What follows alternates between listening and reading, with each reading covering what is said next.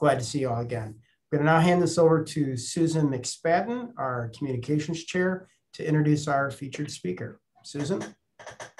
Hey, everybody. Um, I just want to also remind you that you are welcome to put your questions for Robin in the chat. Just know that we're not going to address those until the end of her presentation, but we'll definitely uh, keep up on all of those so that we get all those answers. Uh, voted by Life magazine as one of the top eight photographers in America at the age of 24, and voted by Seattle magazine as one of the most influential people of 2020, Robin Layton is a multifaceted person who claims many titles, including Pulitzer Prize nominee, Nikon ambassador, artist, antique collector, music lover, photojournalist, and filmmaker. There is probably a full presentation that could easily come from each one of those distinctions, but today Robin is here to talk to us about the power of personal projects. For her project Hoop, The American Dream, Robin traveled to 35 states looking for unique basketball hoops and the childhood hoops of some of the most revered players of our time, including LeBron James, Shaquille O'Neal, Sue Bird, Pat Summitt, and many more. Robin also studied and photographed Lake Washington for an entire decade, culminating in a book aptly titled The Lake. The Labor of Love showcases stunning artistic photographs divided into four seasons. Each of the 2,000 printed copies is signed as a limited edition piece of art, and Robin swears there will never be a reprint. These are just two examples of a half dozen or so projects that turned into books. Robin, thank you again for being with us today. We're so excited to hear more about the power of personal projects. The Zoom floor is yours.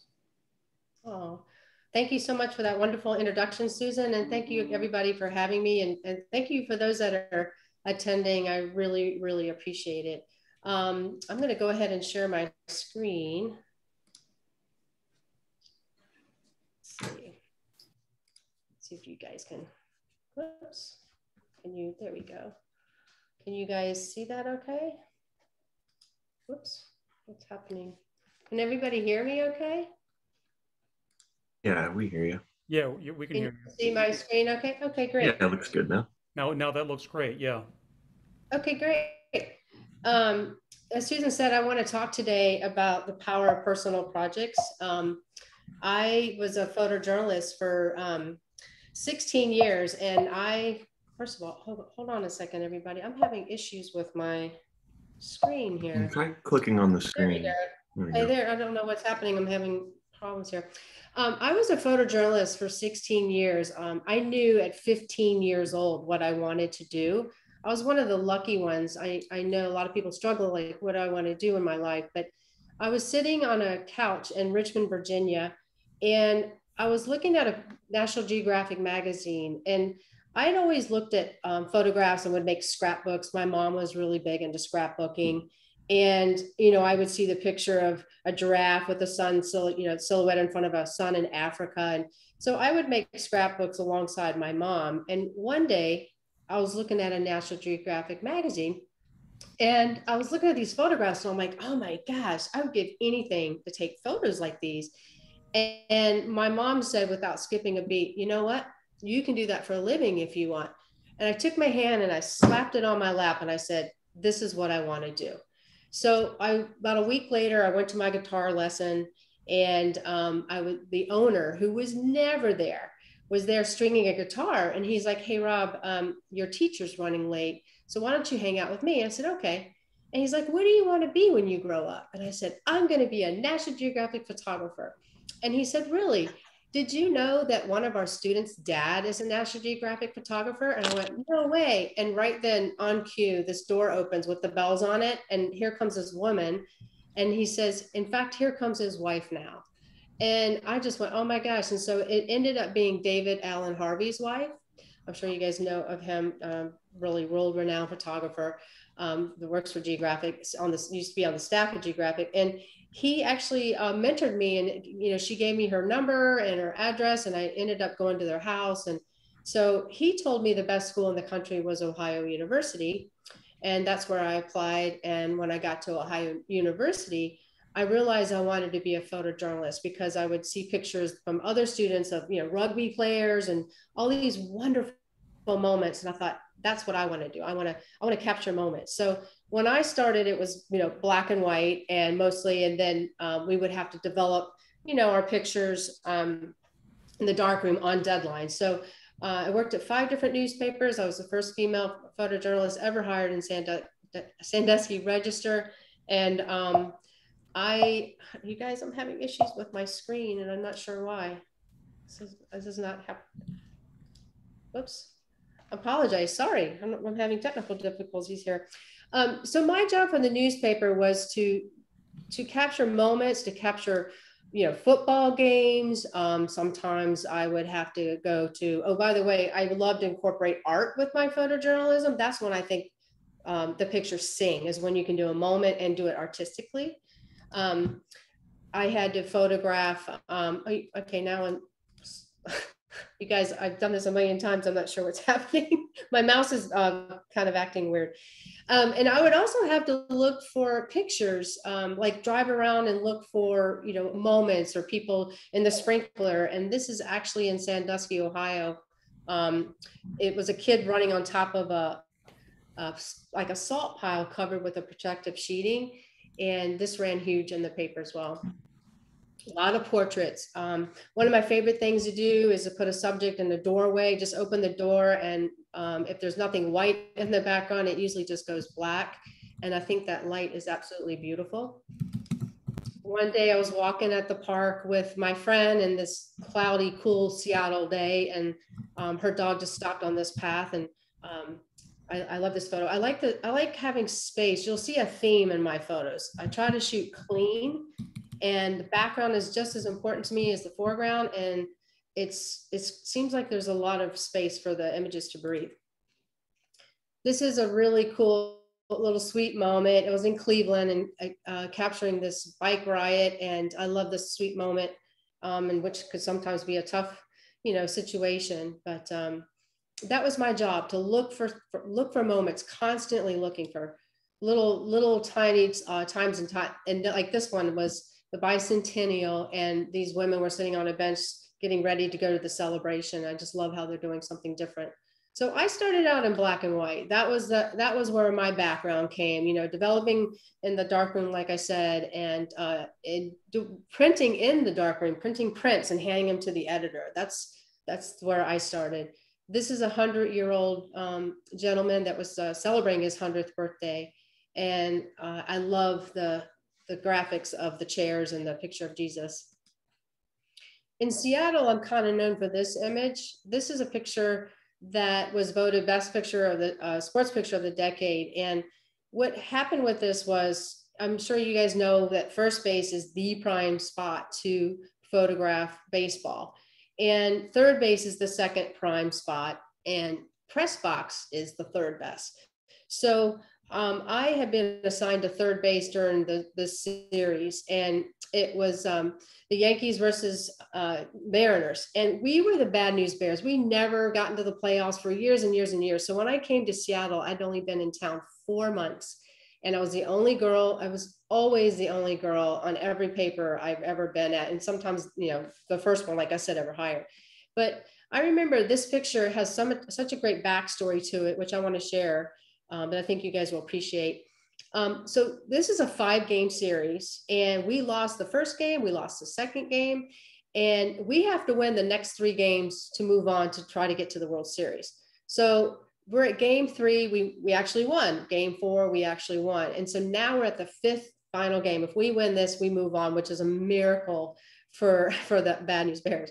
And um, before each game, the bot, my our boss would come up to us and hand us a pass, and he would say, "Okay, you know, Robin, you're on third, and Mike Urban, you're on first, and and we would get our assignments, but I was on third the whole time. Well, this particular game, my boss came up to me and he said, "You're on first tonight."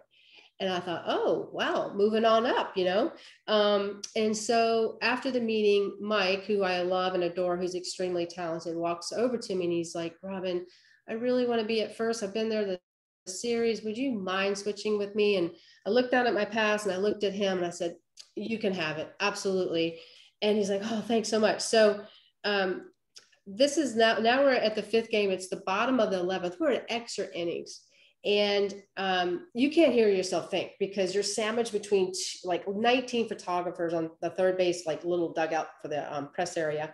And the the Kingdome that we were shooting in has a, um, a roof on it. So all the noise is just really obnoxiously loud, right? And you can't hear yourself think. And here comes, um, oh, Griffey's on first base. And here comes Edgar Martinez. He's our home run hitter, our fourth batter.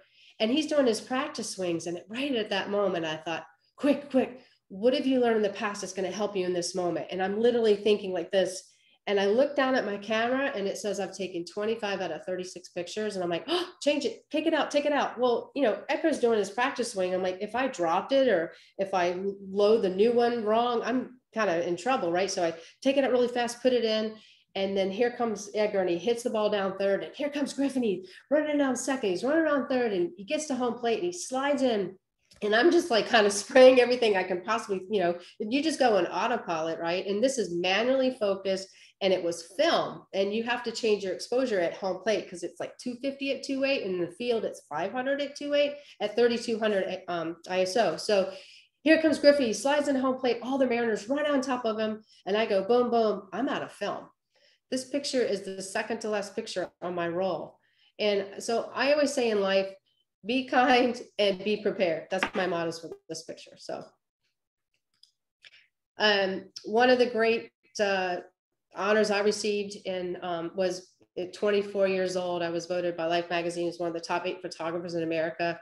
Um, I like to say that was my Swatch watch ad there, but um, that was something that um, I'm just really proud of, and um, it was it was really fun to be part of one of the biggest honors for me, and I truly mean this. Um, I've been a, a, Nikon ambassador since 2013, and I remember the first campaign I shot um, for them, and I, I I was on a ladder, and I had to put the camera down, and I I think it was a 3200 that I was shooting a campaign for, and the uh, producer looked at me and they're like, "Are you okay?" I'm like, "I just need a moment. Um, here I am holding your amazing camera and photographing somebody else holding your camera." And I went back to that 15 year old you know dream of being a photographer. And here i am holding the best camera you know for the best camera company in the world. I mean i've only shot nikon my entire career. Um, and so you know nikon thank you. And i'm very proud to say that that uh, one of the greatest honors and joys of my life. And this picture was taken in um, norfolk virginia. And there's there's also something to, to say about this picture because everybody else was like on top of this these these soldiers were leaving for the gulf war. And i was a photographer at the virginian pilot with the famous um, bob lynn as my boss. And um, you know the photographers i were working with were, were like just amazing. Um, you, would probably know a lot of them. But anyway um, everybody was on top of this soldier. And i remember this is a really tender moment. You know this poor guy's leaving his kids and wife for the for the war. And so i stood back with the 300 and I remember it was a little backlit, and this was slides. We were shooting transparency then. And I remember thinking to myself, it's a little backlit, but okay. And I go boom, boom. And cut to this picture has been everywhere. It's been inside Life magazine. AT&T bought it for, from me. The USO bought it from me. Um, Life used it on the cover um, with, I always kid, I made it with Bart Simpson. Um, and then they had 350,000 pictures to edit for that one square. Um, so I was very, very proud of that as well. And then as Susan mentioned, I was a Pulitzer Prize nominee for a story I did on a runaway. Um, I spent four months following this girl, living on the streets with her, basically not spending the night there, but I spent a lot of time um, doing that and was a very big eye opener as well. Um, so I, I want to talk about following ch chapters in your life. You know, we all have an inner voice, right? And we should listen to that inner voice because it's our it's our guidance system. At least that's my belief. And i remember you know thinking i was a photojournalist for 16 years and i knew it was time to close that chapter right? This is where we're going to get to the personal project part. Um, i didn't know you know exactly what i was going to do. I knew i was going to freelance. I was doing a lot of weddings at the time. I was uh, did paula abdul's wedding and carmen electra's wedding. And i just realized you know what I need to follow this path. And so I went in freelance. And um, yes, that's me with straight hair on the right. And that's uh, Jennifer Aniston, uh, her 40th birthday party. Um, and so the celebrity thing started calling and they started pulling me down towards LA. I live in Seattle. And I'm like, wait, I just built my dream house up here in Seattle on the mountain. So I was living half LA, half Seattle. And um, I just started doing, you know, whatever came my way, which was amazing, like amazing opportunities. This is the king and queen of Qatar. And I photographed um, their daughter's wedding and then um, portraits for them and spent a week at their 20,000 square foot um, palace in Qatar, which was amazing. Um, favorite favorite guy, uh, got to photograph him, and that was just truly truly an honor as well. Um, and so my first, I guess, personal project was when um, I got asked to do a letter to my dog, which is the book on the left. And what my assignment was to photograph dogs and by themselves and then celebrities with their dogs, right? Um, and then we had a contest for 20 people to win and like bloggers they could you know write a letter to the dog and we would pick 20 so it was 57 people 37 celebrities. So my job was to fly around the country and photograph um, these dogs with their owners and dogs by themselves and this was you know really challenging to if you think about it right? I think i photographed 70 dogs total something like that. It's really challenging to come up with um, different pictures of dogs because it's uh and, and it's going to be that my next project is the same thing. I always like to challenge myself and try to get something a little different. This is obviously tony bennett um horrible view that he has um and i got to do some amazing things amazing opportunities you know, robin roberts mm-hmm. with, um with her puppy what's that oh um, and then Oprah, um, Oprah actually called me after this picture, and um, it's funny. She's called me seven times, and let me let me tell you, believe me, you count when Oprah calls you how many times, right? So um, I actually missed this this picture in my first edit because sometimes I, I, move fast, right? And um, I something told me to go back to my edit, which is something I've tried to to teach myself over and over again. Go back for a second edit, third edit. And when I went back, I saw this one with you know they're both kissing each other basically and their eyes closed so so that was um, one of the um, projects that i did was kind of a personal project on the side but um, it was actually given to me so it was kind of a combo um, this is tony bennett and i on good morning america my friends tease me they're like hey you told me you were going to be on good morning america with tony bennett but i know you're going to be with tony bennett um, that was kind of an amazing opportunity as well Okay, so now I want to get to where my life pivots again. So I was a photojournalist for 16 years, closed that chapter and went freelance, right? And I want to share with you that when um, I was, what well, gosh, I don't know, it was 2007. Um, my mom uh, was dying of cancer. And about seven years prior to that, I remember I was at a friend's house and I sold this, I saw this old window and I saw this photograph in it. And I thought to myself, gosh, you know what? If I had one dream in the world to do what I, what I could do for a living, and I was already having an amazing career, my goodness. But if I could have one dream, it would be to create art and be just full time artist, create art for people's homes, you know, commercial buildings. That would be the dream, and to take found objects and incorporate with my photography. And I took that dream and I set it on the back burner, thinking, oh, that's way too good to be true. Come on, right? And I'm not ashamed. I mean, I'm not ashamed. I'm not scared of following my dreams. I built a house at 33. I, you know, went after my career. I went, I was like, I'm moving to LA and photograph celebrities. Like, I don't, you know, I am a train. I have nothing that I'm fearful of, but that was just so big to me. So, cut to seven years later, my mom is dying of cancer. And my whole life, my family, my brothers, and I would say, mom you're so talented. She was the most my mom was the most amazing artist i think i've ever seen. And not because she was my mom it's what i really believe. And as a kid i would see her enter these contests and she'd always win best of show and what she was creating was crazy. So my brothers and i would say mom you got to do something with this. And she'd say no no no. So cut to 2007 and by the way this is our artwork obviously. The, the picture on the far left are horses that are on the back of the vase on the far left.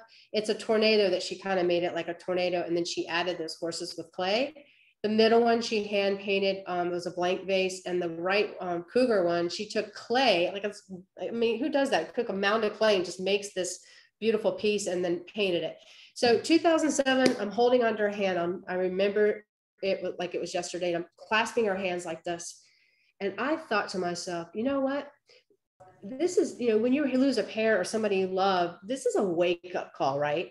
And I said right then to myself, I am not leaving this planet without finding the art inside of me. I'm, I, I just, I just knew it, right? So that's when I started my journey on my personal projects and doing my art. I was a hired gun for everybody else. When is it my turn? Right? When's it my turn to show what's inside me, wherever it is? And hopefully I have a, a little of uh, a little of her talent. So my first personal personal project was this idea I had to drive across America and look for unique basketball hoops and then the childhood hoops of famous people. And i was going to interview them and ask them about what their experience was as a as a kid or their favorite hoop like lebron james shaquille o'neal. And i'm like i can do this. I can do this. So so i got a van and i literally drove around the united states 35 states i think it was it took me a total of nine months and um, i didn't even have a book deal right and i got my friend kim to go with me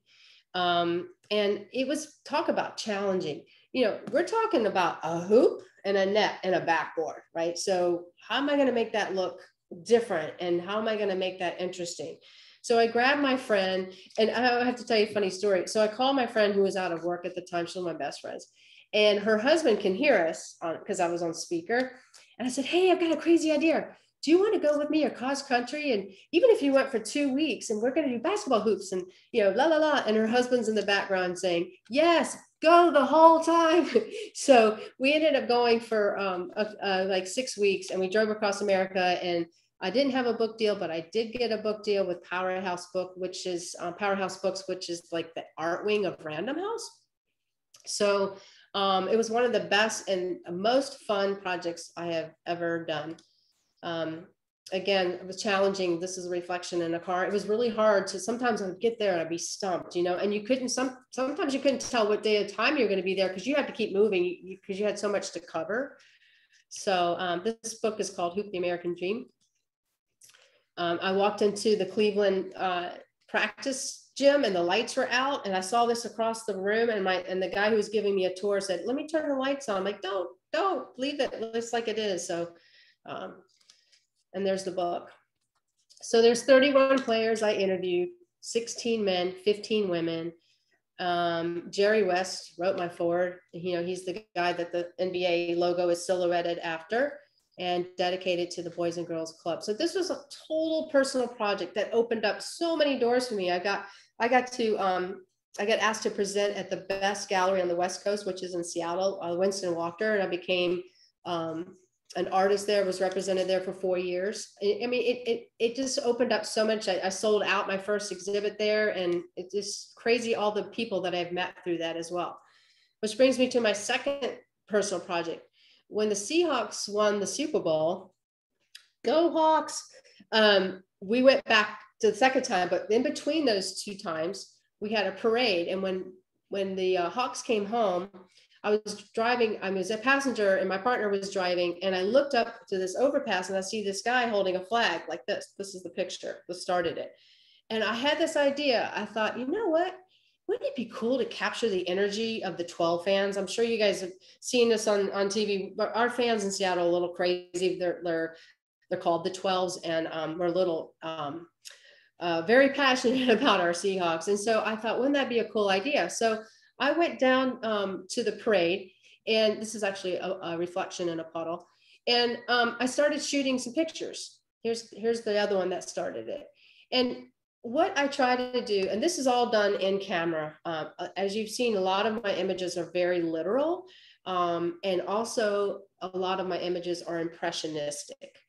Um, and what I try to do is make it look like a painting. And I don't do, you know, anything in Photoshop. I don't hit a button on an app. I mean, I, I really believe anybody can hit a button on any picture and make it look different or unique. But I think the challenge is to do it in the camera. And I get this question all the time. How do you do it? How do you do it? You know what I do? I don't, I shoot here. I don't shoot with my head. I shoot with my heart. And I just play. It's a journey. It's not like I go out and get it every time. I can shoot something the same thing 50 times and not get that sweet spot. No, it's not just out of focus. It's, I mean, it's like saying, well, that's just in focus, right? I mean, there's a lot of play that you could play with. And so it's settings, it's, it is focus, but I like for me to go recreate that again, I probably couldn't. It's just, it's a journey. And that's all, that's the way I can explain it. I don't have a, you know, formula per, per se. Um, so this entire book, which was a risk to do, is impressionistic. Every image. Well, the sea. This is an, another puddle too. Um, the Seahawks loved it so much. They're like, "Oh my gosh, you've never seen art of football before," and um, they decided to partner with me on the book, which was really exciting. So my job every Sunday was go. Oh darn, was to go down to the Seahawk field uh, every Sunday that they were home and photograph them um, from you know from my book and it was just unbelievable i just couldn't believe i woke up and i said i can't believe i get to go down the field today because they would give me passes. And i even got to go to the super bowl. So it's a it was a personal project i decided to do. It opened another whole ton of doors for me um, and it's just really exciting to be some, doing something that i'm passionate about which is my motto in life is passion equals purpose. And I don't care if you have a full-time job, uh, you know, working wherever, we can all do a personal project, right? And I think it's what keeps life fun and find something that you're passionate about so you will keep doing it. That's the key. Um, so with it, I want to show you the next uh, thing I want to show you is a film that I did um, for Nikon uh, when the Z6 came out the mirrorless cameras have changed my life. Oh my gosh. Um, and I, I think my top favorite thing is the EVF, the electronic viewfinder, because in the old days, you know, we'd have to put the loupe on the back and you have to attach the ring, the plastic ring, and you have to get the loupe and it would fall off. And it was just a mess. And now I can shoot video, we see it live and, and also see my stills live. Um, and so Nikon asked me when the Z6 came out, would you make a video? And so this is what I want to share with you.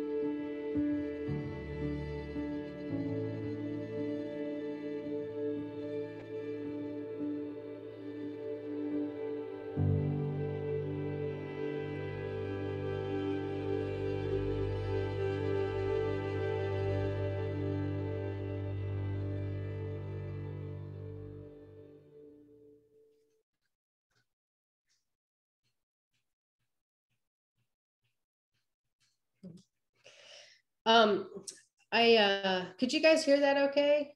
Was the volume okay? Okay. Um, you know, I want to tell you that talk about personal projects. I became a filmmaker because when the D3S came out, life changing for me as well. Um, I've always been told you should be a director, you should be a cinematographer. And when that camera came out, um, I did a video of my dog Monkey. She's she was the one that's the cover of the dog book, and it went viral. Um, and I, I, became an instant filmmaker because um, Oprah saw it, and I did nine films for her for their Super Soul Sunday. So it was a personal thing I did of my own dog, right? And then I just put it out there, and then change life changing. So another example, and I just realized that when I was watching, like, oh yeah, that's that was another personal project. Um, and it's funny when Nikon asked me, hey, um, think about a subject you want to do uh, for a film. And I had just been working on this, my next book, which I'm going to talk about on the lake. And I went, hmm, what subject do I want? Well, of course, it's going to be the lake. So um, thank you, Nikon, because that was super fun for me to do um, as well. Um, so my next project um, is the lake. I live across the street from Lake Washington. I'm very blessed. That's my little dog, Cowboy, and my dog on the right is Georgie. Um, I actually working on a children's book, which is my next project. Um, so you will be seeing them a lot soon. So um, there's, I, I, photographed from the shores of Lake Washington. I shot from a boat. There I am on the far right in the front of that boat. Um, I shot above the water and I shot above, uh, on, on a pier. I shot everywhere for this, for this book for 10 years. So I'm, I just I started out because I'd see a pretty sunrise, and I because I, lived further down the road from the from the lake uh, originally. Um, I mean, I'm in the marsh up to my knees in, in water there, um, and so I started having a folder of like I'm sure you guys do this. Like you have a folder, and you maybe you shoot um, your your dog, and you have a book, you know, a little folder says you know spot spot. And um and all of a sudden you've got this you know library and you keep going right? So this is what happened with me with this book. I would photograph a pretty sunrise or i'd photograph the water and all of a sudden i had this body of work and i thought one day i'm going to do a book. And i'm like oh no way. That is so much work. And about two years ago two and a half years ago i'm walking the dogs down the lake and i stop and i said it's time. And i felt like one of those people that have you know, voice on this shoulder that says, are you crazy? Do you know how much work and time and money that is? And this voice over here, but you have to, you have to do it. And so it's this back and forth with my my my brain. And um, I decided, you know what, let's go. Let's do this. Well, the last picture of me getting in the water, I never get in the water. Um, I'm kind of a little fearful of it, but I thought, well, if you're doing a book on the lake, you got to get in the water, right? So I bought this Nauticam housing for my D850, another camera that I love and I had two hours to go buy it and figure out how to use it because my friends were getting um, on this water with these baby ducks. I'm like, oh, I got to do this now. I'll talk about pressure. So I get in the water, and this is one of the images that I have, which is actually behind me. You can't see the full thing behind me in my office, but um, wow, am I addicted to to split water shots now? I mean, I can't stop. You know, so this was a whole new you know challenging thing it's always it makes it fresh when you can challenge and push yourself right um, so this book started taking shape, and I wanted to um, do all the seasons as well. And there I am with the Nauticam, and you know it's not fun sitting. Uh, I've got to tell you guys a quick funny story. So one day, oh, I'll, I'll show you what I did the picture. And this is one of the images from the lilies. I would just drive around the lake. I'm like, hmm, what's under there? I wonder like what's under the lily pads. And so curiosity, right? Um, another one another i love the way the pier looks in the back because what happens is you get water that drips on your lens and then that's why you see the little squiggly lines in the back. That's what happens and it gets all this really really cool look to it. Um, another thing is i became friends with um, the rowing crew and the the director of the rowing crew and i said hey listen um, do you mind if i get on the boats with you and I, I thought to myself, I've never seen a picture where the oars going right by your lens. Uh, maybe they're out there. I've just never personally seen it. And um, it was really fun because the girls, they're all girls, all women, which is nice. And they're all wearing pastel colors, which I thought is cool because usually crew wears, you know, dark grays, black. So Another example of impressionism, if I shot this literally, I don't think it would, it would have the same feeling. Um, so I love that, uh, I love that that's all the circles and the colors. This is an example of getting up early and um, which I have to do a lot. I'm sure you guys do too, right? For that light. And th this is like 5:30 in the morning. In Seattle, it's really bright early and it's really bright late. I mean, it's like bright till 11 o'clock here sometimes. And this is obviously in the summer. And it was a triathlon. Um, and usually, what happens is they have everybody on the on the on the grass ready to get ready to go in. But this day, this particular race, they're like, oh shoot, we have some issues with the the traffic up the road. So everybody, just if you want to warm up in the water and wait, you know, so you stay warm, uh, go ahead. And this is what that came from. So getting to events early for me was really crucial. And um, you, you, that's what I would always say as a photojournalist. The best pictures are, um, you know, before you get there and after, after the event and before the event. Uh, another picture of, of, a split water shot. And um, I don't know if you guys have ever tried that. I think uh, Outex is another um, way you can, an inexpensive way to put a, a cover um, for your camera. And um, I just got one of those as well because my Nauticam's so heavy and bulky. But if you need like travel or something, you could go on vacation and get one of those. It's just super fun and super addicting once you start. So just, just letting you know. Okay, this is a picture I was going to tell the story about. So these are kids at the rowing center um, getting ready to get in their sailboats, right? And so I'm getting ready to get in, in with my big Nauticam and, and D850. And one of the kids says to me, Oh, I wouldn't go in there. And I'm like, What do you mean? He's like, There's there's like rats in there. I'm like, what do you mean there's rats in the water? He's no, I'm telling you. And so I looked at the teacher. I go, are you serious? Because I had only been in the water like once prior to this. And the teacher goes, nah, there's none in there. Well, a couple days later, I was photographing further down the lake and I see this, these two huge looking muskrats, I guess they were with big teeth. And they're just like cleaning themselves on this rock. And I'm like, oh my God. And then they start swimming around. So I'm a little leery of where I go. And they were swimming to the lilies where I was. So I'm very careful about where I go now in the water, for sure another it's always a nice surprise right when you're editing and you think oh I didn't even know um, that I had that. So um, again, it's it's just a fun exper experimentation. I love the colors in this image. I love the orange um, raft behind the lady or the little girl and her red against that, and then the little boy's ears. If this had been literal to me, it just wouldn't be the same. So again, I try to capture the energy of things. Um, it's not easy. It's not me just throwing it out of out of focus. Um, the word that really, can, you know, these, if you say the word blurry, it kind of is like taking fingers to a chalkboard for me. It's not, it's impressionistic or abstract. And it's, it's really um, a challenge for me to do every time. It's, uh, it's not easy. I must have photographed this blue heron, I don't know, 20 times to try to get this. And it just, it's about shooting it. And then you get home and you're like, oh, it's so close. But what if I did this next time? And what if I try this shutter speed? What was the shutter speed at that? Where what was my aperture? And it's about studying it and playing with it. And then maybe I do it this time of day you know, and and not just I, I all these pictures I'm showing you, I didn't just go out and go click, oh, I got it, we're done. No, this is a lot of a lot of time and um, and energy and like studying what I've done and haven't done. And um, I just love, love his his um, I guess you call those feet um, and and the, the, way the wings are all dispersed and this colors. It all came to, together for me. Whoops, I have that one in there. Um, another split water shot. I actually was finished up photographing the rowers and I thought, you know what? I guess I'll, I'm, I'm, cold, right? And I'm like, I guess I'll get back in and, and photograph these, these geese. And so I get back in and I'm like, oh my gosh, this is so cool. And I ended up getting the cover, which you'll see the same time I got this.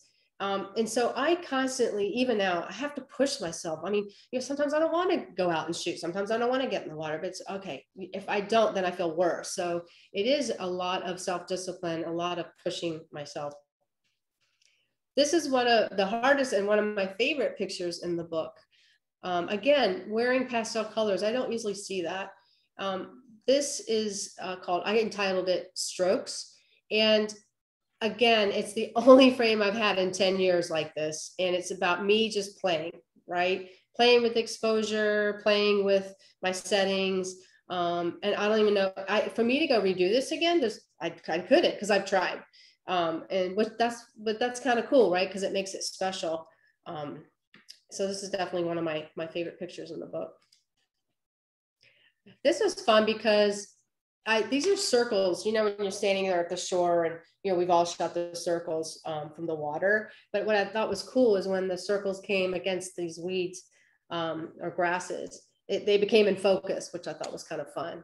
So even something as simple as grass, I try to make something pretty of. And um, I remember one of the one of the biggest compliments that I got was that people feel something when they see my images, which how great of a compliment is that? That they feel an emotion, and I it seems like I get out of the way of nature because it's easy, I think, to shoot dark subjects, but I think it's harder to shoot beauty for some reason. And um, so I just I look at everything as, as beauty. I mean, it could be a leaf or it could be the water on a spider web, the drops on a spider web. It could be anything. Um, this is exactly how I shot it. There's no manipulation. This is actually huge in my house. Um, and this is just water, the way it, you know, it's always changing constantly and that's what i think is the most interesting to me about water is it's never it's just always different. Every time i look out my window every time i'm walking along lake it looks different. This morning i was walking and i saw four um, bald eagles and two were fighting over a, a, fish. It's every day and it's it's just so um, so special just to witness these things. Okay this is I woke up and I remember the date because it was July 5th, because I didn't get any sleep the night before because it was July 4th, obviously. And there's this huge band of orange on the lake. Yes, I've seen strips of orange and, you know, from the sun reflecting in the water, but I've never seen it this wide. So I ran and got my camera. This was taken from my deck. And I ran and got my camera.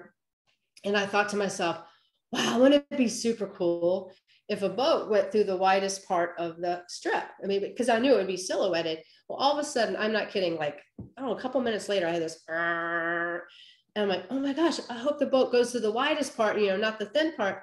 And then I see a skier. I'm like, no way. And so here comes a skier. And then I'm like, oh my gosh, there's a dog in the back of the boat. So that was that was crazy. A lot of my job is anticipation and being prepared and waiting. So I have usually a camera in my uh, upstairs and a camera downstairs, and just in case, just you never know, your dog might do something funny. Um, but I I actually got an email and a phone call from the guy skiing skiing, and that is his dog Charlie in the back, and his name is Paul, and he ended up getting uh, a book from me, and um, so that was a little nice surprise that happened. Uh, I titled this "Into Summer" because it was like late September and what I love about this picture is the only light in the picture is on the two guys, the two boys, but everybody else looks like they're freezing. You know, the lady and the ladies in the water with their arms clasped. But I love the silhouettes of the people, how they mm-hmm. look cold, but um, the two boys are just sitting there, you know, warm as warm as can be with that beautiful light on them. I think that's pretty fun another picture of just getting up early while everybody else is sleeping. I'm out there with, you know, I got to get my dogs ready and get them fed and do their business. And then I have to get on the right gear. And, and usually I would get my gear ready uh, the night before. Everything would be charged up. My cards would be uh, formatted, ready to go. And so I didn't have to think. I would just grab and go because you have to because it's early morning and you got to be ready just to get out and capture that light. So this particular morning, I, I, you know, sometimes you look out, you're like, oh, doesn't look like anything, but you have this feeling. And so you'll see a little glimmer and you're like, I don't know, I have a feeling this could work. And so I love this because I've never seen this before living here where the trees come through the, the clouds. I mean, that to me was just spectacular.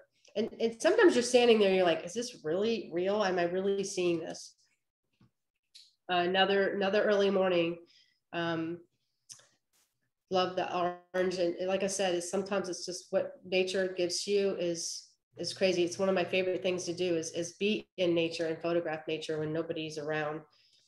And this obviously is a reflection i just flipped upside down. I think it's way more interesting. Um i think that was in the fall this picture, I got up and it was pitch black. And I'm like, I'm going out because I heard it was going to be a, a, pretty day. And I'm like, okay, the sun's going to come up. I think it's going to be awesome. And literally, you couldn't see that far in front of you. I went down the bottom right onto the, the shores of the lake. And about five minutes later, I hear these people talking. I'm like, what's happening? And it's a boy and his dad getting in their uh, paddleboard, getting on the paddleboard. So they go off, and then it's here comes this fog rolling in, and and so they're gone for about an hour, and then all of a sudden, like the gates open, this light just comes out, and it's all like crazy light, and they start paddling back. I'm like, oh my gosh, I prayed that he's going to go through there, and of course he did. Um, and that's just about you know having that anticipation, having that intuition about even getting up and going down there, right?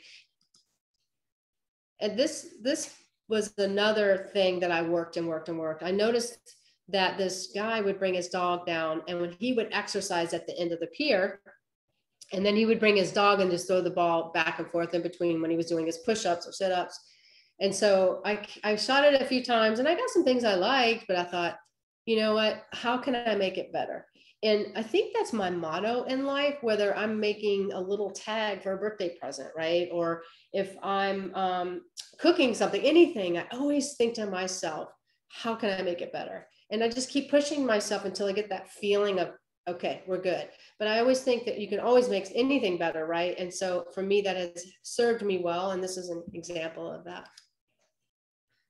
another early morning. Uh, these are coots, C-O-O-T-S, and they're technically technically not even a, a, bird fowl. They say I forget exactly the technical name, but um, the reason that these guys are usually taking off frantically because they're all huddled together. I'm sure you guys have seen them and make that cute little noise, and they have those white beaks.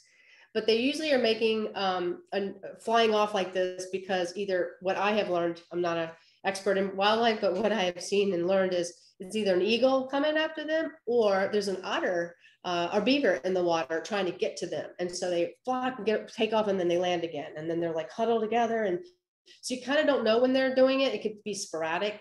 Um, but it's really fun to witness. And I think that's one of the best parts is you're learning about wildlife. Like I know now without a shadow of a doubt of an eagle, what he makes the sound or she sounds. And um, you know, an osprey. I know the difference because people come over and go, what is that? I'm like, oh, that's an osprey or that's a blue heron. And that's the fun part is when you, you know, knowledge is power, right? You love, I love learning about nature and um, it's, it's been super fun.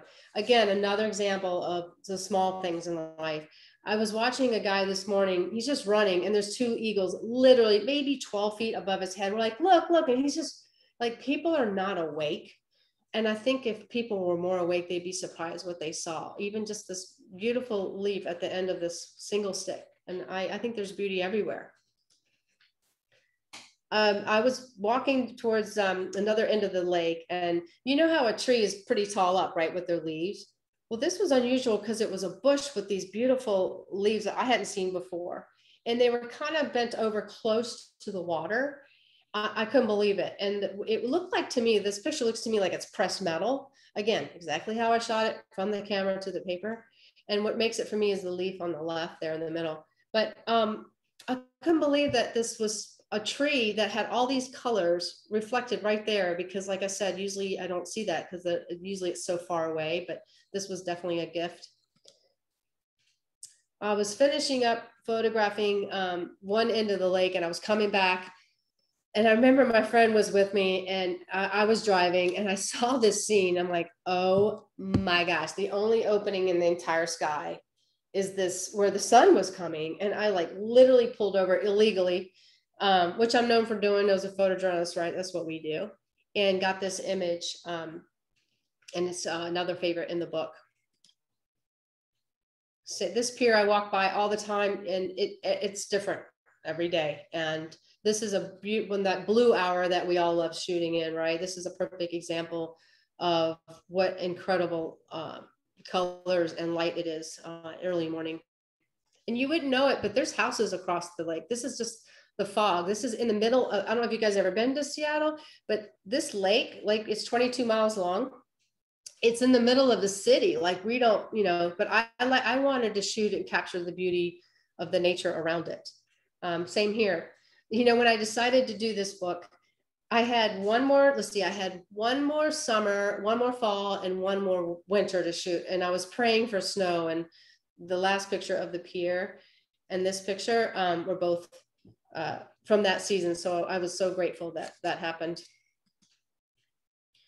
you know, it, it, a lot of anticipation, a lot of waiting, um, a lot of luck, and um, it's you can photograph geese all day, but to sit there and wait for them to take off um, with you know cool light. This is just a foggy morning, and um, happened to be there at the right place, right time. I, I love the reflections and um, their wings, and um, it was just it was just really cool. I, it's funny, you know, I, I, probably shot over a million pictures for this book. Not kidding, easy, easy, and only 146 made it to the book. And um, I, I was, you know, pushing it to try to get to my favorite, favorite, favorites. And um, it's special when you find, they're, I guess they're my babies when they actually made it to the vinyl from the from the middle of that black that you're seeing right now, the strip across that, that's actually all reflection from the back middle of the black to the top of the image. I just flipped it upside down. Again, I think it's way more interesting and I love the colors in the sky.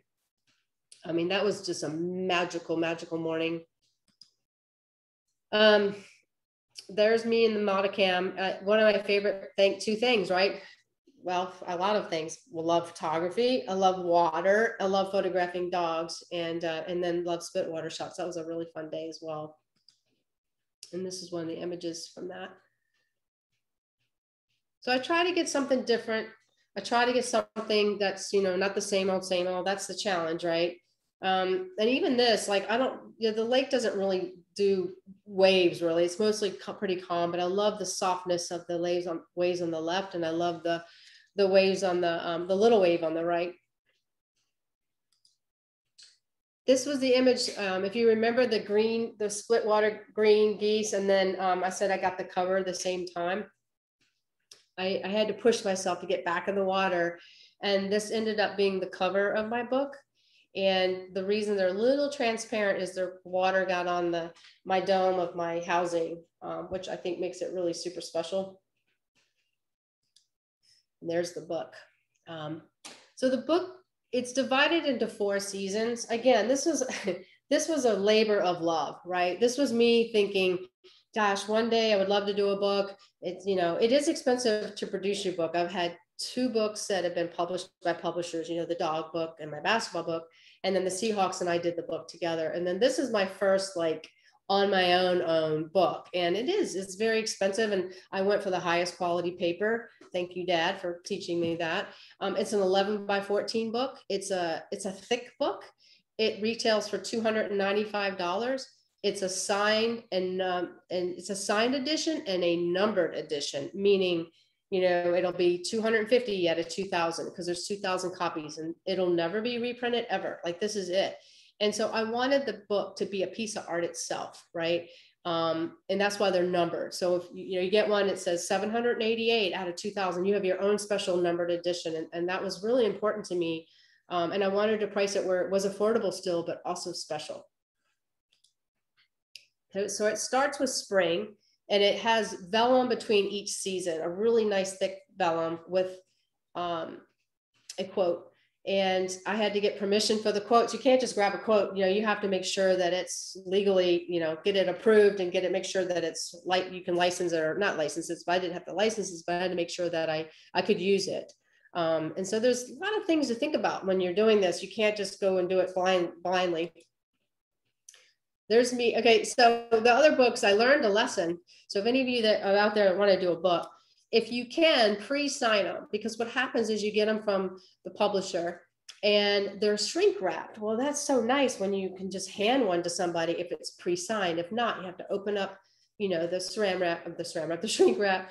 And uh, which is fine because i personalize them too but it's really nice that they're pre-signed and I, they're also you don't see it here but they're numbered too. So they're already numbered they're already signed and they're already shrink wrapped ready to go which is really special. And that's my i think i shot um, i signed you know 2000 of them but um, that's my one my workshop in my my garage. Okay so what i want to end here is um, I want to talk about being 21 and having a dream. You know, I've, I've, just shared with you about the Power Personal Projects and um, my, being passionate. Um, but the reason I'm showing you this picture at me, this is me at Ohio University at 21 with a lot more hair. I miss you hair. Um, and I got to, oh wait, first of all, I want to ask, does anybody know what movie might have been famous during this time?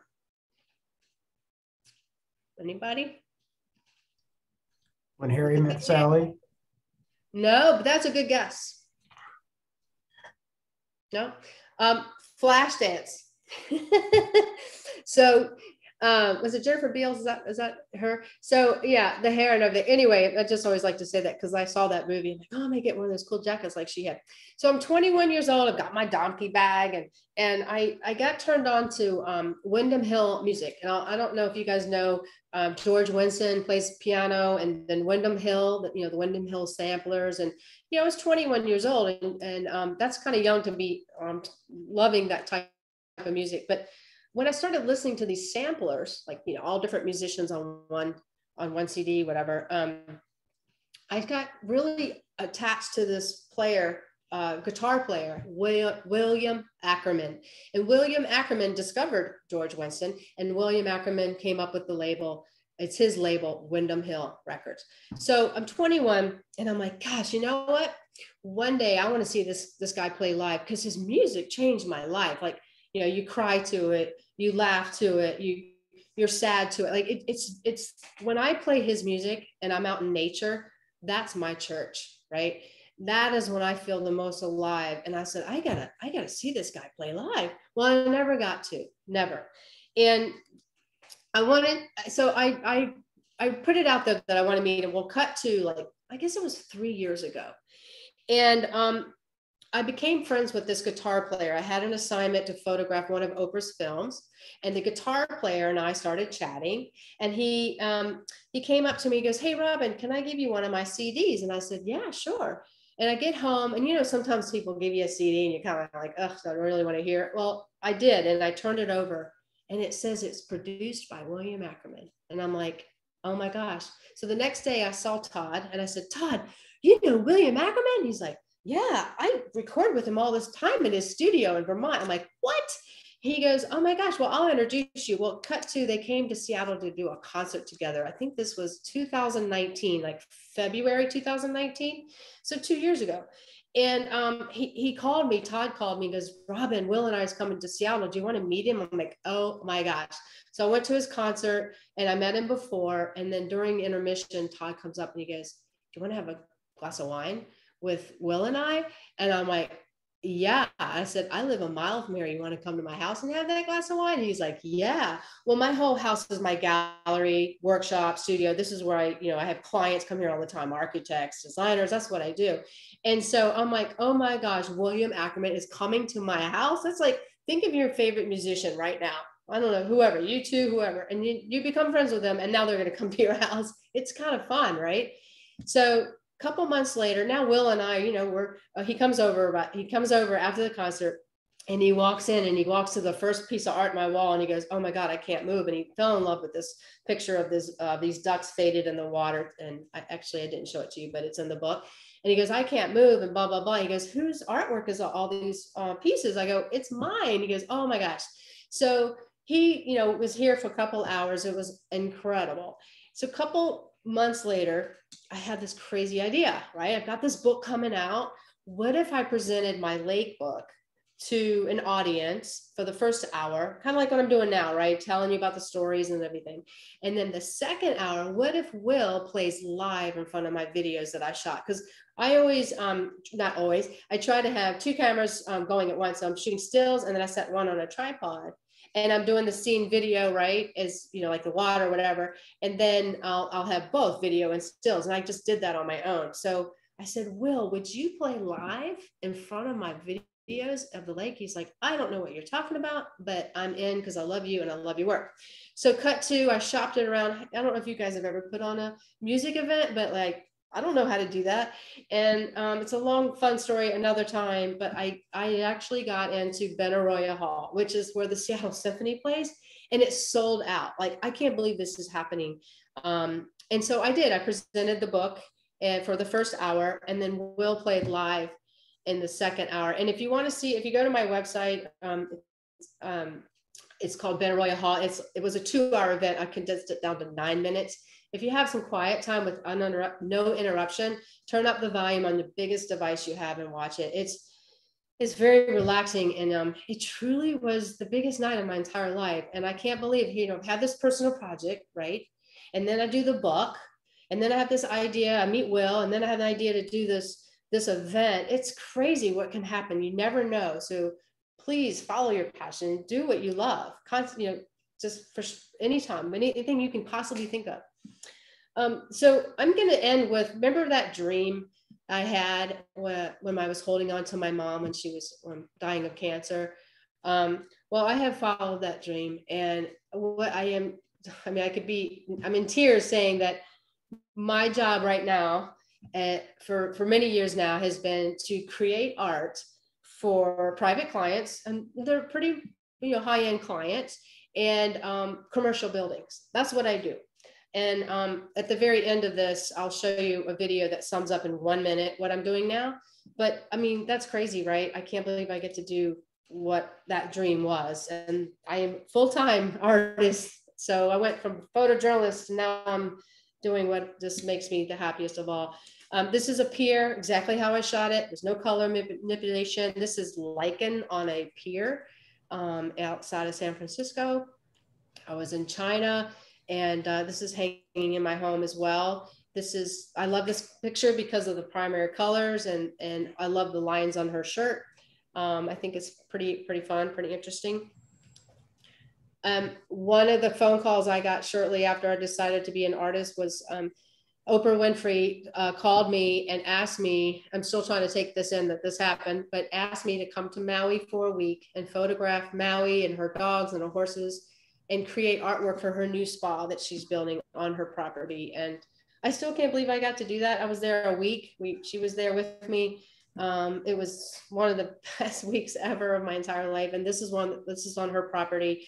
And then that's hanging in her, her house. Um, so she has a lot of, I think 24 pieces of mine in her house. Uh, this is one of the images I did for her. And this is hanging in one of the bedrooms. I think it's six buildings, 14 bedrooms um, which is crazy. This is a, uh, her kitchen nook. So that's one of the highlights too. And um, I actually shot this about a month ago in uh, Roy, Washington. A friend of mine was like, "Hey, come on out," and she's like, "Let's go see my friends." And I'm coming down this road. I'm like, "Are you kidding me? This is their driveway." And um, I just got out and worked it, and I love it. Again, to me, it looks like a, a painting. Another example of uh, an image I shot, reflections on the beach, one of my favorite things to do, and just flipped it upside down. And I can't believe of all the buckets this kid could have had in the world, there's different colored sharks on it. I mean, it's crazy. I did a film on a woman in Wyoming. She commissioned me to do a film on her life. Um, in fact, she just passed away recently. She's in her 80s and she wanted to give leave something for her grandchildren and um, her children. And so she was this famous artist in wyoming. And so i thought you know what? If i'm going to go to wyoming three times you know i went to i went there in the spring i went there in the uh, summer and i went there in the winter. I'm like i might as well go through yellowstone and shoot personal pictures right? Just get some personal images. And this is one of those where nobody was around for hours. And I wasn't, you're not supposed to be driving in the park when the snow's really thick on the roads, but I just did it. And um, I just kept going and going. And my friend's like, this is really getting dangerous. I'm like, just keep going. And it was tree after tree after tree. And then this opening just happened. And this bison was foraging for snow and he's going back and forth. And you can see the snow behind him is, you know, he's pushed through, but in front of him, it's clean. And he was looking for food. And I get out and I have my, you know, I think it was like a 400 and I the wind is whipping. It's like those Star Wars, you know, when those movies where they hit the Star Wars button and the stars coming out. It was like that. And I, I was like, the wind's whipping me. I'm like, oh my gosh, I can't really see. And I'm like waiting for him to lift his head. And finally he does like for one second. And that and that's where this image came from. Um, this is an image I shot, believe it or not, in broad daylight. And it was a cow, a Highland cow in this field another per- these are all personal things that i did because i love what i do. And um, i've sold this picture um, this is one of my most i actually have somebody coming over today to to purchase a huge uh, version of this. And this is a 90 by 73 in a client's house. This is what i do. They come over they look at my work and they're like you know what? I'm thinking for this wall. Can you come over and measure and you know we figure out the treatment and how it's produced but this was in broad daylight. And this cow was one of like 26 in this field. She was the only female. And all the guys, for some reason, the farmer told me didn't like her.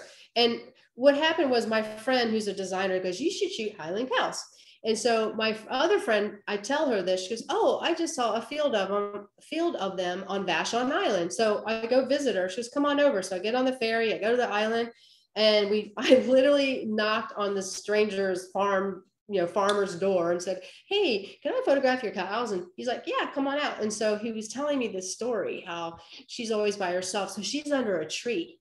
And this i was just started photographing i didn't know i didn't know i had this until i edited when i got back and edited it edited it. And um, all of a sudden this light comes through the leaves and it lights her mouth and she has grass in her mouth. I'm like oh my gosh. So this is one of the this one and the bison that just showed you the two most popular that my clients gravitate towards another example of clean shooting, right? I love clean uh, clean backgrounds. This actually, I shot it with a white background and just changed it to black. It was a, a, gray day, and I shot this down in Palm Desert. A client hired me to photograph bighorn sheep down there, and um, ended up doing this one as well. Sometimes I take my found objects. Um, these are found objects. Um, these are found molds, like foundry molds. And what they would do is they would take these wooden molds and push them in wet, wet sand and then they pull them out. So there'd be in, impression in the sand and they would pour hot metal. So these are like from the 1800s. Well, when I got these two, I thought, oh my gosh, that looks like film containers because we used to, you know, hand roll um, our own film back in the day, black and white. And there's actually uh, 40 pictures on this strip right here, 40 on that roll because I overrolled the film. And um, this is actually hanging in my dining room. And um, my whole house is my art because that's what I do. And people come here um, I learned from my ex that she's like, why are you having pick other people's art in here? This is your, you know, where you show. I'm like, hey, yeah, right. So it's really fun because I'm surrounded by, I call them my babies. So this is one of my babies. And then when the pandemic ha- happened, you know, we, as all of us, we had to pivot, right? And so um, my artwork starts around 4,000 and goes up from there. So I thought, okay, I need to get something. People are working from home. I need to do something that's more affordable for for most. And and so you know maybe do something for under a thousand dollars. So these are my smaller pieces. There are still limited editions. Everything I do is a limited edition to make it special, right? You don't want 5,000 copies of your art out there. So um, these are really fun and they've been doing really well. And um, so it's funny how we all have to think of new creative ways to reinvent ourselves um, which i'm always looking for creative ways to express my art.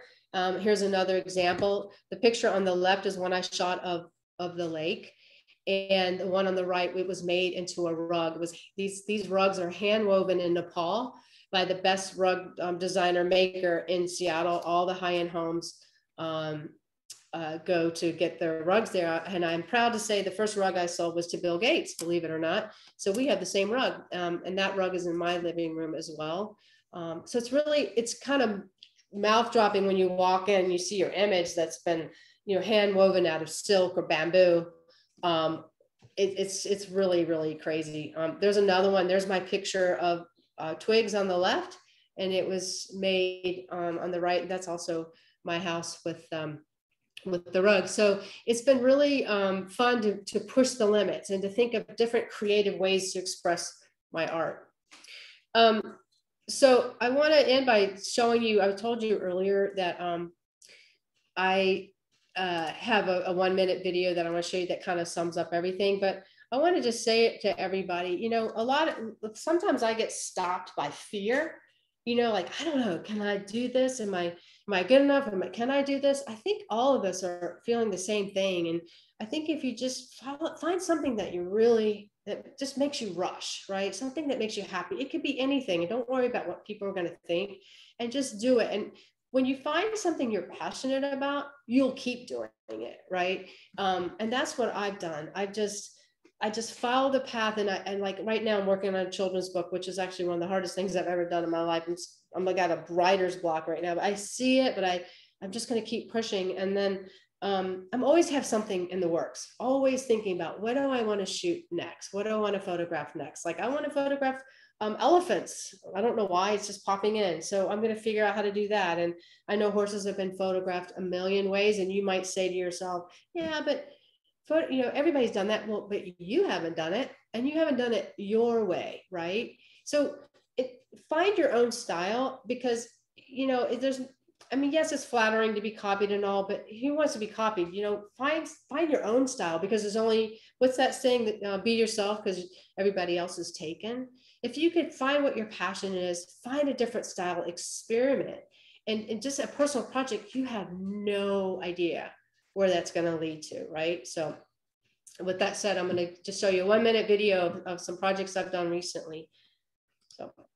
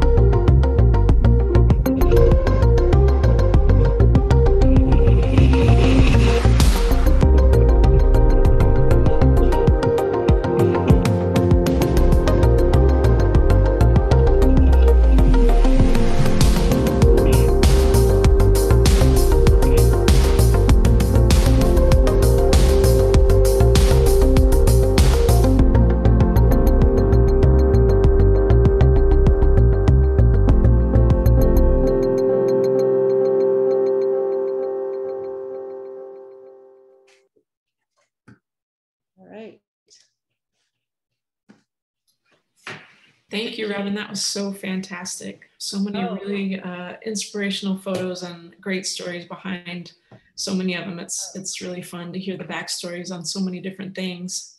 Oh, thank you. We've got um, a number of questions here. Um, I'll try to keep them grouped together. Uh, so many people are expressing um, just how beautiful your work is and how much they appreciate the stories and uh, uh, Jay Drown says, loved every minute of your presentation. Wow, amazing, so creative, fabulous. Lots of great words for you, Robin. We've got several um, alumni in the house that connect with you. Uh, a Sandusky Register alum, Matt Kishore. Oh, yeah. Yeah, and a Bobcat alum, Sydney Scott. All right, Bobcats and Sandusky, double. Yeah, and then of course a lot of Seahawks fans. So. Oh, all right. Now you guys are spoiling me. People are connecting with you on a lot of different levels here, so that's fun. And, and you know what? I hope it's okay to say if anybody wants to follow me on Instagram, I sure would appreciate it because um, it's really fun for me to look at your work too. So it's a great way to to connect. So. Um, as far as some questions, um, I made notes here, so I apologize if I don't attribute the question to um, the person who asked it every time. But where are you publishing or displaying personal projects outside of the outside of the books, the ones that get published? Um, well, as far as um, well, my website, of course, but I do a lot of talks and I do some exhibits. Is that what you mean? Like where where can you see some items? Is that what the question is? I think so. Um, people just want to know when you're not making a book out of it, where do you put it? Oh, um, well, I I exhibit a lot. Um, I'm giving a talk like at the University of Washington, and they're going to have some art pieces there, and I'm doing a book signing there. So um, it either lives in art or it lives in my books. Nice. Are you fitting your projects into regular freelance work, or are you now dedicating yourself to each project? Um, well, I still freelance a little bit. I'm actually flying um, Monday to LA for a couple weeks for a couple jobs, but I would say 99% of what I do is what I just showed in the video is uh, creating artwork for um, clients in commercial buildings. And like an example would be, I had this client say, "Hey, we live in Palm Desert. We really love the bighorn sheep. We want something humongous." Um, and thank you Nikon for making something that's 45 megs so I can you know, make sure they're sharp. And so what I'll do is just go down to uh, to Palm Springs for uh, three or four days and shoot, and then show them my take, and then they say we want this one, just just like I did for Oprah. You know, I, I shot for a week and then showed her the take, and then she picked which ones she wanted. So that's mostly what I do now. Um, this is my question. How do you make those connections with celebrities like Oprah and um, and you answered the one about how you made the connection with the with the musicians, but You know, um, they kind of come to me. Um, I I don't reach out to them per se. You know, they get inundated, you know, all, like a million times a day. Um, it's kind of word of mouth, and they you know, would come to me. And as far as the celebrities for the book, I will say that um, I have a friend, uh, Michelle Marciniak, who's a basketball player. She worked. She was at Tennessee with Pat Summitt, and um, she hooked me up with Annie Meyers Drysdale, who's a, a, a famous women's basketball player. And what happened was one person would connect me to the next. So for this book, she goes, "Oh my gosh, you got to talk to Rick Barry." So here's Rick Barry's you know email. So I email Rick Barry, and then Rick Barry calls me and says, "Oh my gosh, you got to talk to Jerry West." And he goes, "Wait a minute, not Jerry, his wife Karen."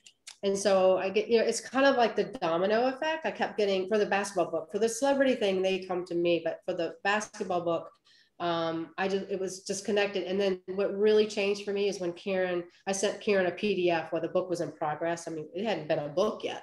And I sent her a PDF with some pictures. She goes, Oh my gosh, I've never seen anything like this before. How can I help you? And then she hooked me up with Shaquille O'Neal and LeBron. And that's how that happened. But as far as the celebrity thing, um, you know, they came calling to me, you know, you do an event or you do something and then somebody gets wind of you and, you know, celebs, they want what everybody else is doing. And so that's sort of what happened. But for the hoop book, I was connected by one to the next to the next. cool. Is there uh, anybody out there that you wish you could work with or do some art for? Um, yeah, there's a few people um, that I would like to do. Um, I mean, you know what? Here's the thing.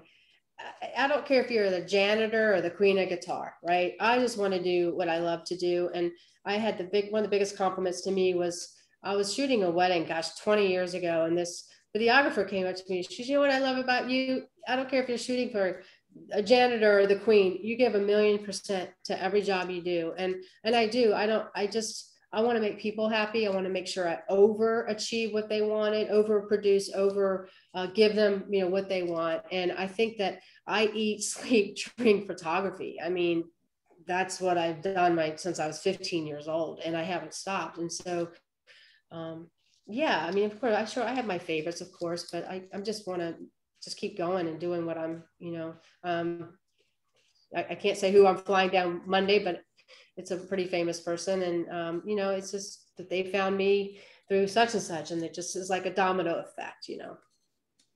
That's awesome. Uh, jason halley wants to know did you face any criticism criticism to pursue personal interests over stability of other photography careers? Was there anyone who thought you couldn't make it taking pictures for yourself?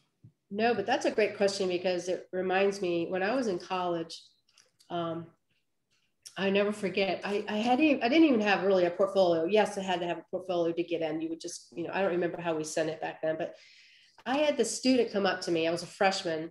I was already homesick. And he comes up to me, he goes, You know what? You're never going to make it. Do you know how he didn't even see any of my work, right? He's like, You're never going to make it. Do you know how hard this profession is? Everybody and their grandmother wants to be a photographer, which is true.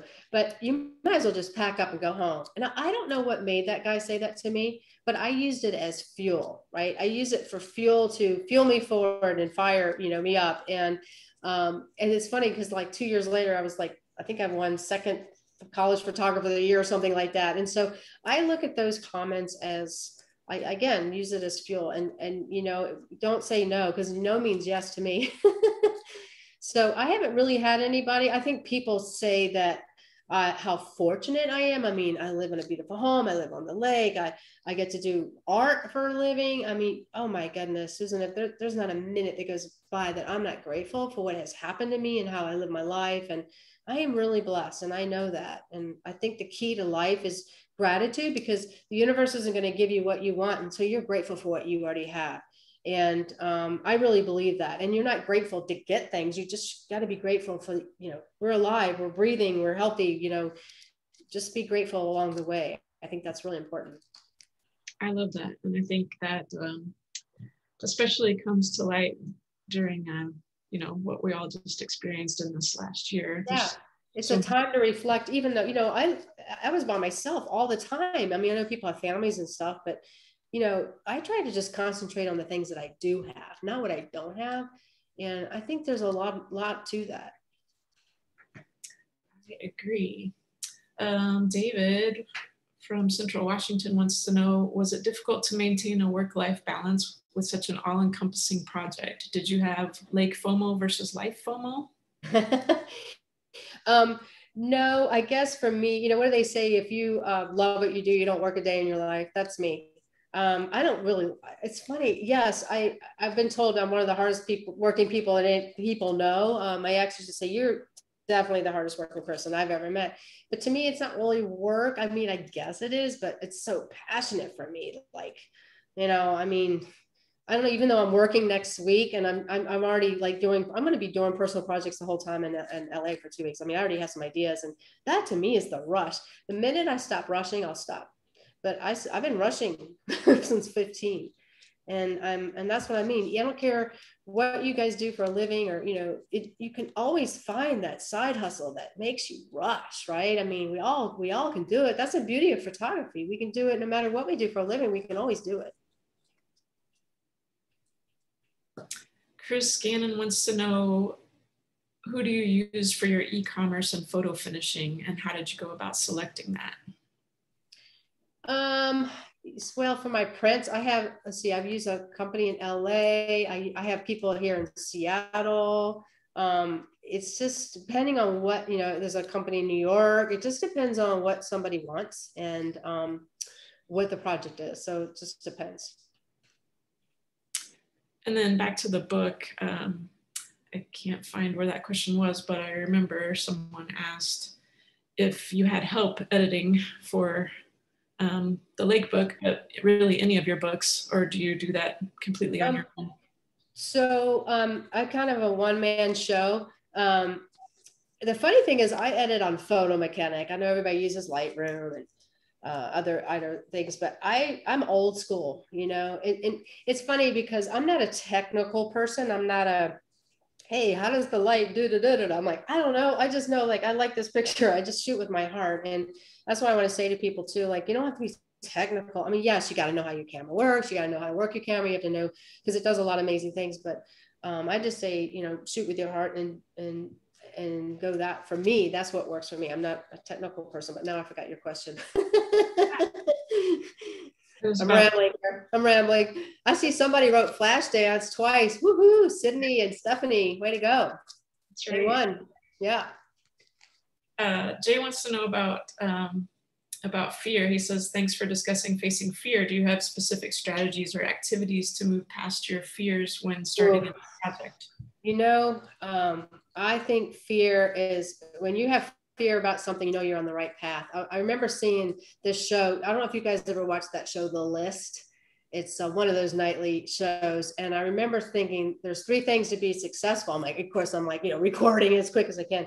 But the first one is to invest in yourself, right? Because we all have fear. We all are like, oh, should I get this computer? Should I get this website? Number one, the most successful people invest in yourself, wherever that is. Like I said, website, um, you know, tools for your trade, whatever. Two, if if it feels like you're at a risk, you're probably on the right path, right? Um, and so it's about believing in yourself. And that fear, I would use as fuel, like I said. And you know, I'm scared to death about this. I have two assignments back to back next week. And let me tell you, it's scary. I mean, I've got publicist, publicists, I've got the head of CBS I'm dealing with, or they email me like, this is what we're looking for. I'm like, ah, you know, yeah, I'm nervous, but I think that's good because if you start thinking, oh, I've got this, I think you're kind of in trouble. I think you should have those butterflies and be a little fearful, but also I'm scared of flying. I, you know, I do it all the time. And I think you just face the fears, just take a deep breath and look at the bigger picture and just breathe and say, I've got this, you know? And, and I, I have fear all the time. I mean, I'm human just like everybody else. Of course, I'm going to be terrified next week and be so glad when it's over. So, um, yeah, I think that's a good thing though. Uh, Jeff at Rice University um, says during COVID, I've enjoyed shooting personal work more than ever in my life. My only outlet is social media. Any tips on getting your work seen? Well, that's a good one. Um, you know, I see all these people with a million followers. Well, of course, that's the dream, right? But um, I would say just keep posting. I'm not the best at like hashtags and what to do with that. Um, I try, Um, but I think, you know, Instagram, of course, is the number one um, uh, outlet. And I think just keep learning about how that, that operate, you know, that works and maybe hashtagging. Um, and then also I noticed like on my account, you can see view insights and you can kind of see where people are learning about you, whether it's hashtags or uh, if they're followers, etc. But um, I'm not the best at that. There's people better than that, but me, but you know, I do the best I can. I'm pretty sure I have um, asked everything that I see in the chat. If I'm wrong about that, uh, somebody please call me out. If that's all the questions, um, I think we'll back over to Glenn. Robin, thank you so much. You're, um, as several people have said, you're your energy is contagious and your images Oh. are so inspiring and we're so thankful for you um, spending time with us today i hope Oh. you stay in touch with us Oh, absolutely. You know what? And thank you guys. Thanks you so everybody that, that that came and listened. And I, it's just been a real thrill for me. So thank you very much. Thank you, Robin, and thank you, Nikon, for providing uh, Robin uh, for us. Uh, This is stunning work. I mean, I think everybody is kind of blown away by uh, what you did. So absolutely amazing. Um, So uh, we have uh, Michael uh, Dion with us, who is our Nikon rep. And uh, I'm going to pass it over to Michael. He's going to tell us a few things and uh, stay tuned because at the after Michael's done, we're going to talk about the Nikon shootout. So go ahead, Michael. Well, hello, everyone. Thank you, Glenn. Uh, I mean, first off, wow, Robin, what an amazing presentation. Uh, thank you for sharing your beautiful art with us, as well as the great stories behind the images, um, and for being a Nikon ambassador. And what a great uh, representative of the Nikon brand.